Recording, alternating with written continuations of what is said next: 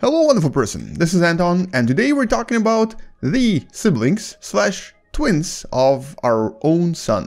We're going to be talking about these two stars that we discovered that just so happen to be very very similar to our sun and we have a very high suspicion that they're basically our relatives.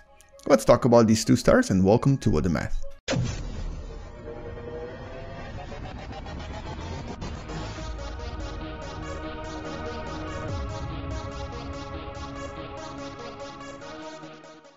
Now first, how can our sun have siblings? In other words, you know, how can an actual star have relatives? And to explain this, well, you have to go back in time a little bit to try to understand how usually stars actually form. And to try to understand all of this, uh, we can actually take a look at the very, very famous region of space known as the Orion uh, Nebula, which is right there in front of us. And inside the nebula, we'll actually be able to find several regions known as the stellar nurseries. In other words, uh, regions of space that I'm going to jump to right now, where new stars are actually currently being formed, created, and um, essentially, in a sense, developed. But these regions always produce many, many stars from essentially the same material. And for the most part, these stars then go their merry ways across the universe, across our galaxy. Now, we think that this is exactly how our own sun was formed uh, about 4.5 billion years ago.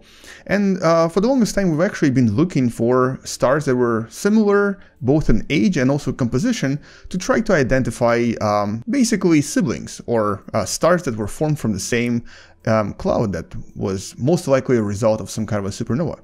And we've actually found one back in 2014 that was relatively similar to our sun and even had the same unusual elements that are present inside our sun as well, including elements like barium and uh, yttrium, which is very, very rare actually. Yttrium by itself is an extremely uh, rare material. It's part of the so-called rare earths. And fun fact, um, yttrium was actually discovered in this really small town near uh, Stockholm in Sweden. Uh, that's known for like the most chemical discoveries ever. As a matter of fact, a lot of a lot of different elements were discovered in this particular region. And uh, because of that and i guess because uh, people were kind of used to naming things after where they were discovered back in the days uh, several elements were actually named after this little town the town that you see right here by the name of Ytterby. I'm sure I mispronounced that, but essentially that's kind of where we discovered this particular element, along with three others, uh, erbium, uh, terbium, and ytterbium. And as you can kind of hear from the names themselves, they actually sound very similar because they're literally named after the uh, town, which is kind of strange. They could have named it something cooler like Swedium or Stockholmium. But anyway, that's another story for another day. Let's go back to talking about the siblings we've discovered. So the first uh, star is known as HD 162826. It's located uh, right here in the constellation of Lyra, very close to constellation Vega. And um, for the most part, uh, it's actually very similar to our Sun, but as you can see, slightly larger, slightly more massive, specifically about 15% more massive, and also a little bit hotter. But it's also a little bit younger. In other words, it may have formed um, kind of after our sun, so it's basically our younger, fatter sibling.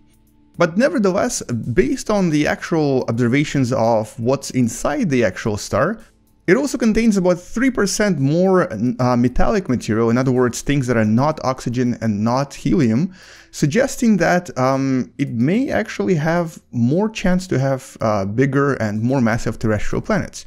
Now we haven't discovered any uh, gas giants around it, in other words, there were no Jupiter-like objects, but we think that there's a very high chance that this particular star may actually have quite a lot of terrestrial planets around it. We just haven't really found them yet because they're not uh, moving across um, the actual line of sight, so we don't really see them just yet. But there's a very high chance they're probably there and we might be able to discover them with the new telescopes that are coming out.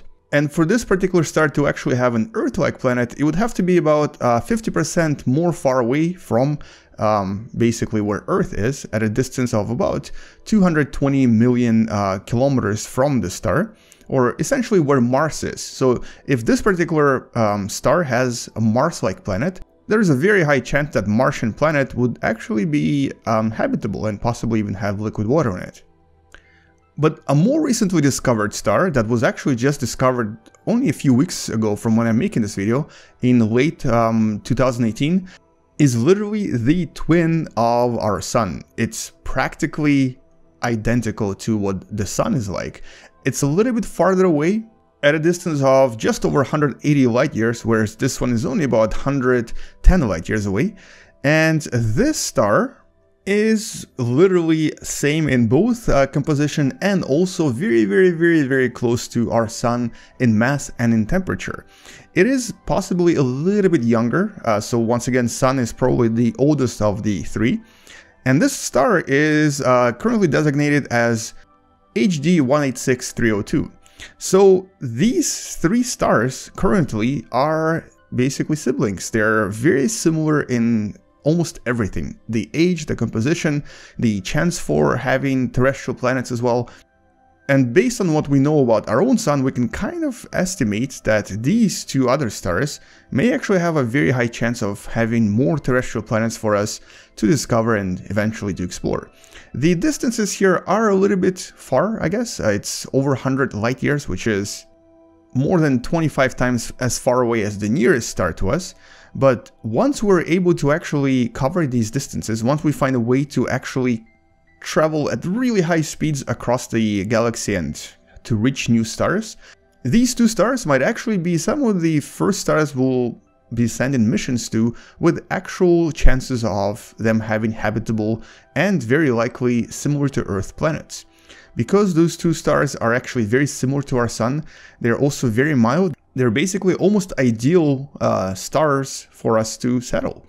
And in that sense, um, this is actually really exciting that we're able to discover yet another star that's coming from the same sort of cloud of early sun-like objects that were formed in a similar region. Now I'm sure there's other stars we're going to discover eventually and uh, one of the reasons we're able to find this particular uh, new star is because of the ongoing Gaia mission that has actually identified several billion stars already. And so when using the Gaia telescope uh, data and combining it with another mission known as AMBRE that actually collected um, visual data from 230,000 stars, the scientists were able to identify this specific new discovery and realize that it was a clone or in some sense a twin of our own sun. And so once Gaia actually releases another dataset in 2022, we'll most likely find even more twins and more similar stars to our own sun, in other words, more siblings. For now though, that's unfortunately all we know about these two stars. We know their distance, we know that they're identical or very very similar to our own sun, and we of course know that um, they most likely formed from the same cloud as our own sun. We don't really know if they have planets just yet, we suspect they do because of the actual composition of the stars, and because of how our own sun is as well. But hopefully by 2022, when we actually get new data from Gaia, we'll have a chance to take a look at them with the new telescopes and discover some really really cool planets there as well. So anyway, that's all I wanted to mention in this video, and as we discover more about these two particular stars known as the Sun's siblings, um, I'm going to post a new video with an update and give you an idea of what we've discovered. So do subscribe if you still haven't, and maybe even share this video with someone who enjoys learning about space and sciences. I'll see you guys tomorrow, come back tomorrow to learn something else and maybe even consider supporting this channel on Patreon because it does help me quite a lot. Space out, and as always, bye bye.